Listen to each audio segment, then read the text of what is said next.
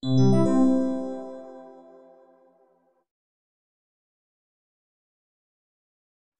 friends. Do you know a PLC of any make can communicate with the IO cards of any make? Confused? Let me explain you in a better way. There are times we face or there's a need to hook up a third party system with main PLC system. Yes, it is very much possible. You can make a Siemens PLC to communicate with ABB IO cards or vice versa. Or any make of PLC can communicate with any make of IO cards. Here you can see on the back screen the master PLC which communicating with the slave devices of different make. Here the system will perform like the single OEM system without a hitch. These uh, slave devices may be a remote I.O. cards, a VFD or any device from manufacturer which supports Profibus communication. This is the beauty of Profibus communication, which lets you enjoy the interoperability of control system. The only thing you require to set up a Profibus communication between third-party vendor device is GSD or GSD-ML file, which a manufacturer generally provides with a slave device to which we want to communicate with master PLC. Let's check out what is GSD file and how it is written and incorporated to uh, in communication to take place. Here GSD stands for General Station Description File. It is an electronic device datasheet or device database file that helps master device to identify its connected slave device. That how slave device is going to communicate with the master. In a simplest form, the GSD file when provided or uploaded to master device it tells the master that I am a such such slave device from different manufacturer than you and I will function like that. So simple. It's a kind of introduction to master device uh, by slave device. Got it? It is an ASCII text file that contains device specific data such as uh, vendor's identification information, supported baud rates, supported method lengths, number of input output data, meaning of diagnostic message, timing information plus option and feature supported data formats and available input output signal and this is the file which is not kept or downloaded on device itself but usually comes on a separate disk or drive. Each entry written in files represents a feature supported by device. When the file uploaded or installed on uh, master device, the master identifies the information of slave device by means of some standard keywords, which is written in GSD file. Some of the keywords are mandatory, uh, for example, vendor name, etc., and others are optional. The GSD file enables the master device to interact with its data records, that is input and outputs. For example, we have a VFD which is connected with the Profibus master PLC.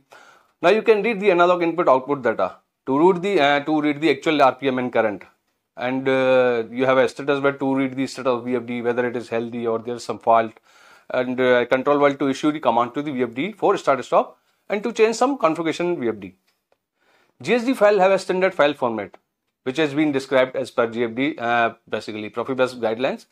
A GSD editor software assists the manufacturer to write GSD file for Profibus DP slave devices. The editor includes a syntax and a semantic checks according to GSD specification. GSD editor can be downloaded free of charge from the Profibus website. GSD file for Profinet devices are written in XML format and are called GSDML. The same way GSDML editing can be accomplished with standard XML editor software provided free. Now let's discuss about the GSD file structure, the way it is written in, in standard format. It contains internal data structure of devices such as vendor name, model name, version number, baud rate, DP features, IO related information and diagnostic data. The first thing you can notice in its file name which appears in language used for written GSD file. The following rule is applied for GSD file names. Here you can see a file name is abc underscore double zero at triple zero eight dot gsd. That is a file name. Now here ABC underscore is company identifier. Here company ABC is underscore. And it uh, four characters reserved for the that. 0008 is a ident number. It identifies the type of DP devices you are using. And always four characters reserved and represented in hexadecimal. .gsd is the extension. Default language is English. When you search on internet for a specific GSD file, you may come across various extension of file, GSD star. GSD file have language specific instruction. The last letter specifies the language in which file is written. Here GSD represent default format for English, GSE for English, GSS Spanish, Portuguese, uh, French, Italian. When device is connected on Profinet, GSD-ML files are used. GSDML files are nothing but GSD files written in XML format. Here the properties of a device are described with keywords and the values as we discussed earlier. Master devices uses these keywords to identify its function. The first keyword therefore indicates the version number of GSD file. Then comes vendor name and model number revision. The manufacturer's name, model name and revision for devices are limited to 32 characters as a visible string. Then comes revision number 05. Version identifier for the DP device. The revision number here must match the revision number in slave specific diagnosis. The ident number identifies the type of DP device. Every field device is characterized by an indent number allocated to it by Profibus International Organization. An indent number may be ordered from Profibus International. Then come protocol identifier. This is a zero. Zero stands for Profibus DP.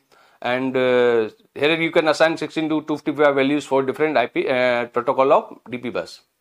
Then comes station type, whether it is uh, slave device or master device. Zero for DP slave, one for master device. Before commissioning a Profibus system, station is assigned with the unique address. The Profibus address of a DP slave can be adjusted by two ways. Either through switch provided on the devices and that is manual process and by sending a special telegram by the master to the Profibus slave device. Here address 126 is reserved for the default addresses for the DP slave.